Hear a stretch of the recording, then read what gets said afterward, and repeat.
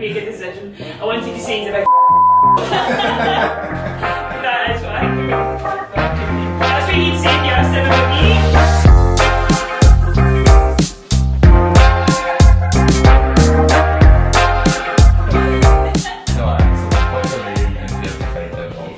You Yeah, eh, I got into sport when I used to work in Kilmarnock Football Club and I trained in the gym there and I did weights all the time. And then they ended up, they were going to shut it down. And one of the girls that was a PT in the gym, she did Muay Thai. So I had to find a new gym and I went to Wasabama, which used to be down the corner from here and started doing Thai. And then after a few months, I kind of heard about Neil's gym because he had left there to open his own place, and I came here for some sparring, and then left Wasabama to join here just before lockdown started.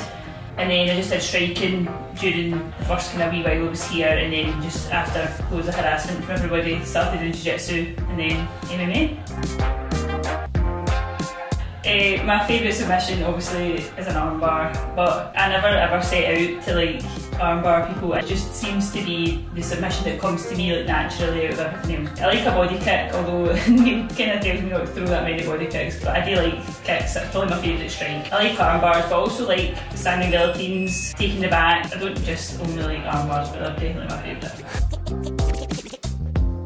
So since my last fight, I've been working mostly on cage wrestling, I would say. But since I've agreed to fight MMA in the first place, it's mostly been striking that I've been working on. When you generally like movement, getting my head out of the way, making sure I'm setting everything up with strikes. So that's what I've been mostly working on. But I would say my cage wrestling is what I've been enjoying the most, and so that's probably what's come on the most since my last fight.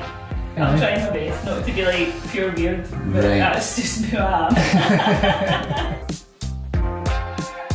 the hardest part of this fight camp uh, for the two fights that I've got coming up because they're quite close together. I've been not well a couple of times during it, so I've had to take quite a few weeks of rest and stuff, so that's been quite difficult. And then just like getting back into training after being unwell and not feeling 100%, not be too hard on myself about that it's probably been the hardest thing. But feel totally fine now and I've recovered. But that's happened to me every camp. I've had injuries in every camp, whereas this time instead of an injury, it was illness. But I can't expect to be fighting like four times in four months and not get unwell. So that's definitely been the biggest challenge. The game plan for Saturday's fight is just to go in and finish it in first round if I can, because I just think that'd be pretty cool to finish it again first round. But Neil would like me to go in and try and get like a few more rounds in experience this time because obviously finishing fights first round's great, but it'd be good to at least maybe go back to the corner at one point because I've not even done that yet, like two fights, I've not even got back to the corner, so but I still would love to finish it first round and I would love to get another armbar, but we'll see. My biggest weakness as a fighter, I would say, is definitely dealing with nerves. I think now I've got much better at that, but that was two years of training before I was ready to fight. To me, like that first fight, obviously the way it went was amazing, but for me, the biggest win of that was like the fact that I did it because I didn't know if I was ever going to do it. And then even once I'd done the first one, I still was a bit like, well, maybe it's just a fluke. And then once I won the second one the same way, it just gave me like a wee boost of confidence. Like I'm actually maybe like not bad at this.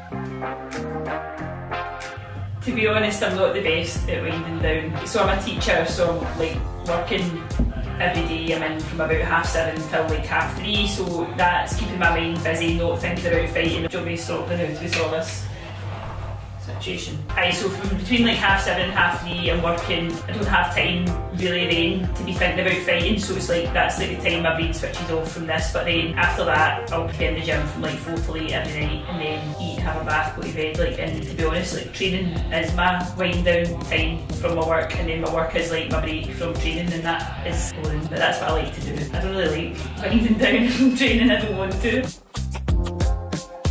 I want to see like funny things to slag him, but that was really shit. Right, describe Neil three words. Committed.